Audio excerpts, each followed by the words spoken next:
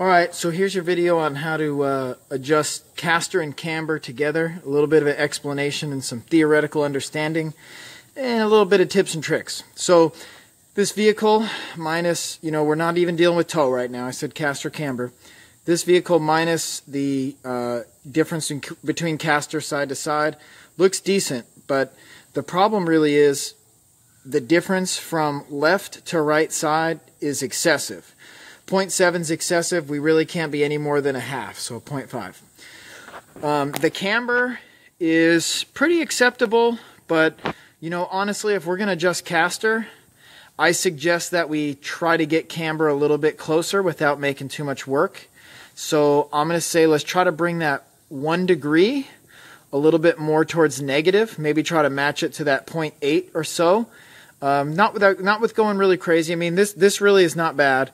The difference is not bad side to side. It's technically in spec. So to, to explain camber, right, right now we're a little too positive, so it's a little pushed out on the top. Um, or depending on how you look at it, that's a little pulled in on the bottom, right? So what we want to do to make it more negative is pull the top in, or AKA push the bottom out. Either way, right? To stand that wheel up. That one's pretty easy to see. Caster's a little different. Um, 2 is right on the money. 2.7 is getting close to out of spec, but the real issue is the difference. So we want to basically take that 2.7 and move it more towards 2. This is too positive. We want it more towards negative. It's not negative, but it's less. So we want to move it more towards negative to get more towards the 1.2. So here's kind of what that looks like. Okay. Camber, you know, we, we would look like this. We got that down. Caster is basically the lower ball joint to the upper ball joint in an axis, so an angle. Caster like this is really positive. This would be zero caster, and this would be negative caster. And so if we are trying to go a little bit more, what are our numbers again? 2.7, we want to go a little bit more negative or a little bit more towards zero. We basically need to bring that bottom ball joint towards the rear. So remember, bottom ball joint towards the rear is going to decrease our caster angle. So a quick peek under here. We've got eccentrics on the lower control arm. We've got nothing on the upper control arm. Now, I'm going to have my assistant take over. I'm going to talk about what that means. So, first things first, just to give you a little explanation. Um, a lot of vehicles are set up like this, where the upper control arm is the adjustable control arm. So if we were trying to make adjustments to the upper, there's a couple critical things. One, if we were to move both of eccentrics, or in this case, it's actually shims, outward, that would stand our wheel up, and that would be like zero camber, right? So on this particular one, I'll tell you, we got one degree of camber, but what we really want is like a little bit less than one degree. We, one positive degree means that that wheel's almost tipped out at the top. So what we want on this one is to pull the top in. But that car has lower control arm eccentrics. So what I'm saying here is more to make sure you understand it. It's also got excessively positive caster. What that would mean if it was an upper adjustment, it'd be kind of like way back here, right? So I just moved this. It's a little bit hard to see, but if you look at that lower ball joint stayed still, if the upper ball joint was towards the rear, this would be kind of raked out like a chopper. That's really positive caster. We want to move it more towards negative or more towards zero. We would actually be able to put in a little bit more shims towards the rear and a little bit less shims towards the front and you see how it moved that ball joint a little forward, that's the type of thing we want to do. But this one's all in the lower control arm, so same concept, but the lower control arm. So check this out. We got this lower control arm right here. We got this upper control arm that's just a follower. It's just kind of hanging out. So we don't play around with the upper control arm on most Toyota trucks, at least the newer ones, Tacoma Tundra. So if you're picturing this, and we're talking about lowering, if we're talking about moving the lower control arm, if I wanted to make more positive caster, I can move it like this, right? And now it's raked out like a chopper. If I wanted more negative, I would move it back. And that would be less like a chopper, more like a shopping cart, kind of dragging the wheel behind it.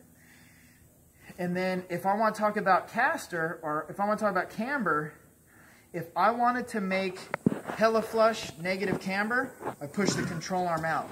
And now it would be like, you know, a lot of camber tipped in, you know? Or if I wanted to make less, you know, go more towards positive, I would pull it in. Kind of, can you visualize that? So from the side, here's camber, making it hella flush, making it like bro style lifted, we're making it perfect. So considering those, let's take this out of the equation. We've got on our vehicle, I'm just looking at our numbers, we have got too much uh, positive camber. So the top of our wheels tipped out. How could we make it uh, less positive? We could push this control arm outward, and that'll stand it up, right? And that's going to bring it a little bit more negative, okay? So that's the first key. We want to move the control arm out. But that's not going to deal with our, our caster issue. And, you know, honestly, the camber's decent. We mostly want to deal with the caster. And the caster right now, we got a 2.7, and we want it more towards a 2.0. That means I need to basically move this control arm a little bit back. I need to move the ball joint back. Because right now it's too far raked out, so I need to move it back to stand it upright. So what I'm kind of saying is I need to move it back, but I also kind of need to move it out a little bit, right? If you look at this control arm, one eccentric can do both of those. I could take the front eccentric and I could push the front eccentric forward. That would move it back and that would also push it out. So that would level out my caster more towards zero, but also kind of helps stand my tire up to be a little bit better camber. Make sense? So it's kind of weird to think, right? But if you understand what I'm saying, you understand what I'm saying. I could also, to fix my, my caster, I could pull this rear one in, right? Watch the ball joint. That would move it to the rear. But it would also pull the bottom of my tire in more, and that would make it even more positive camber. So that would kind of be like, that's the wrong direction to go. So how about we leave the rear one alone? We just go ahead and we, uh, you know, we just deal with the front one. And so again, this needs to go rear. Let's push it out. Right? Let's push it out. It's going to fix both problems. So here we go. I'm going to hand off my light and do that adjustment. Now, look at those numbers. And remember, caster is not live. So we're going to do a caster adjustment. You're going to think it's good. We don't really know. We're going to have to resweep it. So check this out right here. Here's our eccentric. So our eccentric right now, this bolt is basically what we're trying to move. We need to move this bolt outward. We agreed on that. This bolt outward. How do we do that? Well, I need to loosen the bolt. Okay, I'm loosening the bolt. When I get the bolt loose, I'm going to use a wrench to move that bolt outward, what I'm going to do, I'm actually going to turn it this way. I'm going to say we probably need to move it out quite a bit. So see what I'm doing? You see how that bolt is rotating outward as I turn this eccentric? You agree that bolt's going outward, right? I'm going to say, I don't know, about that much. I'm, I'm eyeing it up. I'm making a guesstimate. So if I move it out about that much, I moved it about 90 degrees right there.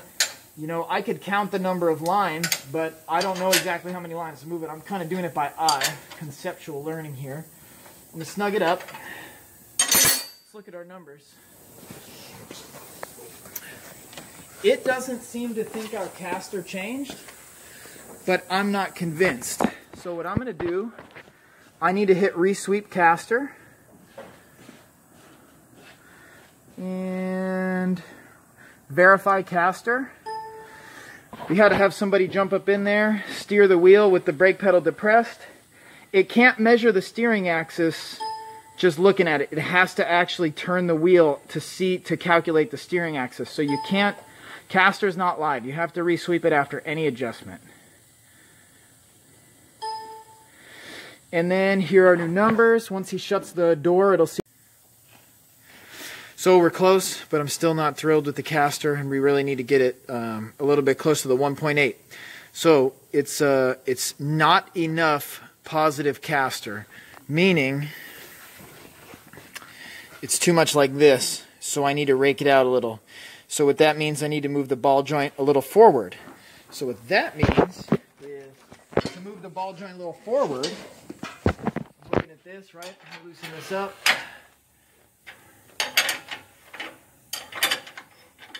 To move the ball joint a little bit more forward, I need to pull this in. To pull this in, I'm going to turn like this.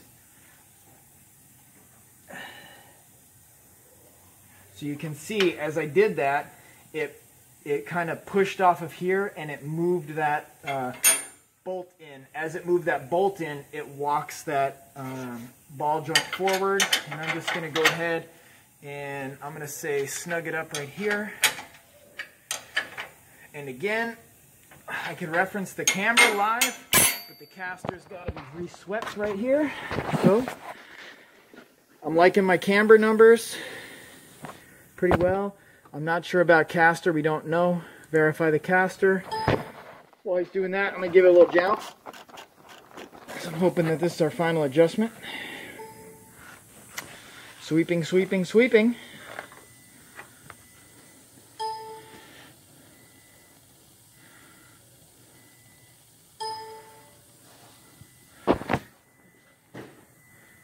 The bar graphs. And, you know, I'm happy with that. So again, we got about a 0.2 camber, a 0.3 cross caster. If you really wanted, you could get it closer than this, but um, this is not going to pull. This is not going to have excessive tire wear. And when I just fixed the caster, I didn't blow out the camber by doing it the wrong direction.